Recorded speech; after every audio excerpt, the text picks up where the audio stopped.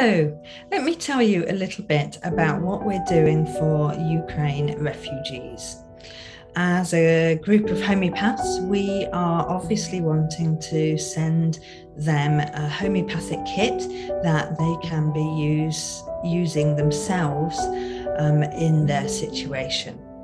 So, what we have done is found some remedies that would be easy for them to take um, without having a homeopath there. Um, we have made little kits. Um, let me just show you, um, which have got in them a number of different remedies. Let me show you um, how they're going. They're quite big pilules um, written in Ukraine there.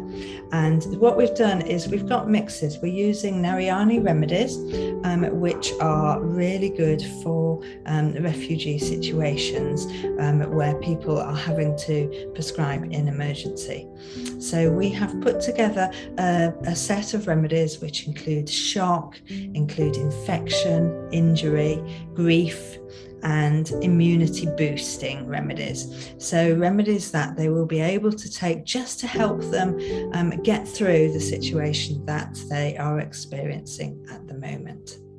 We have got a number of homeopaths putting together kits around the country, and we're just sorting out transportation to get the kits into Poland, the refugees there, and also going forward into Ukraine for the people displaced there as well. The boxes of kits will be given to centres that are looking after people, and we've got children's centres as well that are interested in taking our trauma kits.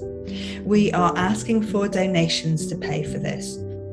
The homeopaths are providing their time free of charge. We've obviously having to buy quite a lot of um, bottles and pilules and, and, and different things to put this all into action.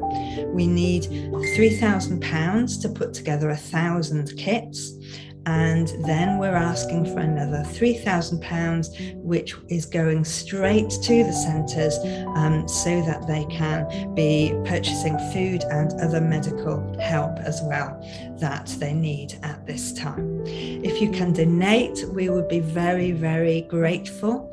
And we will be sending you lots of videos and things of how we're getting on, um, what we're doing, and where the kits are.